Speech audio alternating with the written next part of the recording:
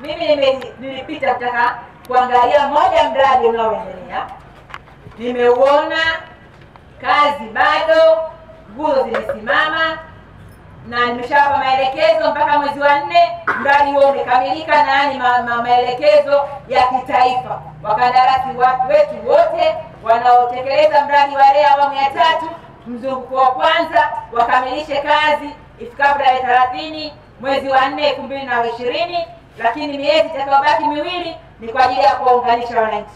Mkandarasi ameniambia vifaa viko bandarini, mwezi huu wataanza hiyo kazi na itaendelea.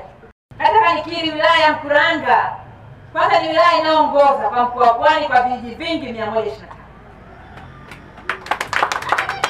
Ni wilaya pia yenye idadi ya watu wengi. Kuona pamoja na kazi inayoendelea mmesema, lakini vilibaki kama vijiji themanini. Kwa kazi tunayoendelea nayo nchi nzima, ilitarajiwa kusiwe na wilaya yenye vijiji zaidi ya arobaini ambavyo havina umeme. Kwa hiyo ikagundulika wilaya hii kutokana na ufuatiliaji wa mheshimiwa, zaidi ya vijiji themanini vilikuwa na umeme, na ndio maana miradi inayoendelea ikabidi tuvichukue vijiji vingi viingie kwenye orodha. Umeme hapa umezunguka huko barabarani tu hapa, kama mtu aliyekuwa na ndevu usoni, lakini hakuna chochote kinachoeleweka. Tunataka umeme kama tulivyoagizwa.